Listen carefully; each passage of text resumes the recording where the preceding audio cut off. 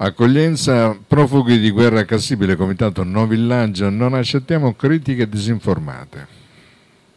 Vorrei spendere due parole che, anche se dovrebbero essere superflue, sono necessarie in difesa della verità.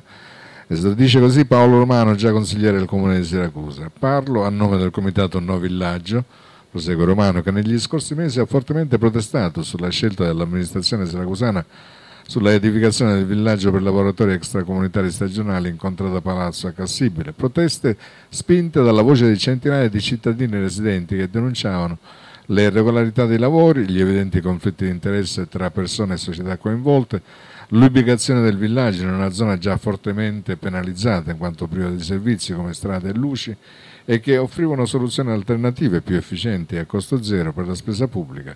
I dati sono tutti pubblici e consultabili. Il tutto è stato sempre fatto a tutela dei lavoratori extracomunitari stagionali che a nostro avviso e con prove evidenti venivano sfruttati come mezzo di sporco business da persone e società che c'erano dietro maschere di filantropismo interessi puramente economici. Nonostante questo, continua Romano, in quel periodo non sono mancate accuse pesanti come quelle di razzismo, cosa alquanto grave se rivolte a chi denuncia eh, che il razzismo lo fa davvero ma dietro le quinte. Ovviamente questo non ci ha fermati e consapevole delle cose giuste abbiamo portato avanti le volontà dei cittadini e denunciato le ingiustizie sugli extracomunitari con le proteste.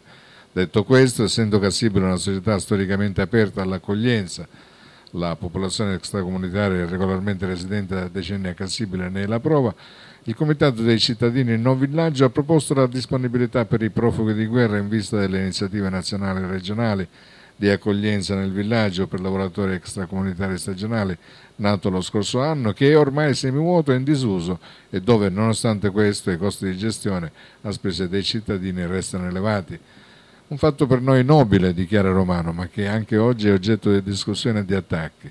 È chiaro che scelte e proposte non possono essere da tutti condivise, la libertà di pensiero è la base del nostro operato per cui la critica è sempre ben accetta, ma se questa si basa su prese di posizione di etichette dateci da chi non ci conosce, da chi è poco informato, da chi semplicemente ha il piacere di andarci contro, lasciano il tempo che trovano. Nell'era moderna informarsi è un dovere e rimanere ignoranti è una scelta, senza sapere non ci si può creare un'opinione. Riflettete, conclude l'ex consigliere.